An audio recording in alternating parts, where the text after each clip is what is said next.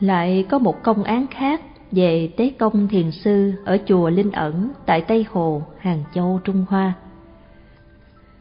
Ngài ăn thịt chó, uống rượu và ngày nào cũng uống đến say mềm.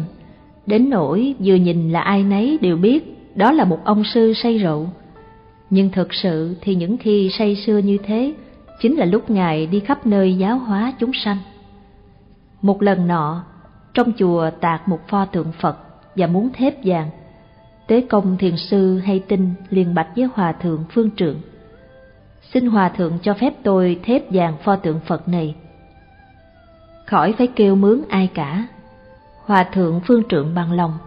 Thế nhưng đợi mãi vẫn không thấy ngài tế công thép vàng cho pho tượng.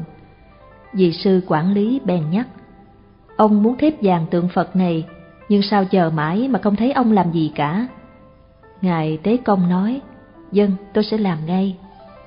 Đến tối hôm ấy, Ngài Tế Công lại cũng uống rượu say mềm như mọi khi, rồi đợi cho mọi người đều đi ngủ cả. Ngài đến trước pho tượng Phật mới tạc và há miệng khạc vàng ra rồi phun lên pho tượng.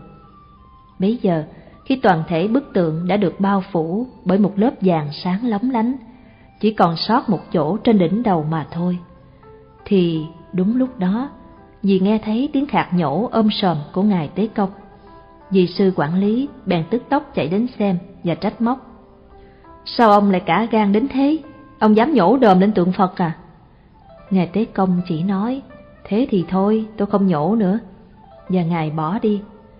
Hôm sau, mọi người ra xem thì thấy tượng Phật đã được thép vàng xong xuôi, chỉ còn sót một chỗ nhỏ trên đỉnh đầu mà thôi. Vì thế, trong chùa phải gọi thợ chuyên môn thép vàng đến làm nốt cho xong. Nhưng lớp vàng đắp thêm đó lại không đẹp bằng vàng cho ngài tế công khạc nhổ ra. Quý vị xem, cảnh giới của bậc A-la-hán thật là không thể nghĩ bàn. Do đó, chúng ta là những người tin Phật thì không nên ngồi lê đôi mắt, rao nói lỗi của tứ chúng. Bởi nếu đối tượng mà quý vị xúc phạm là người bình thường thì có thể không hề gì nhưng nếu nhầm bậc thánh nhân đã chứng quả thì quý vị sẽ mang tội. Mang tội thì sẽ ra sao? Thì quý vị sẽ bị đọa địa ngục.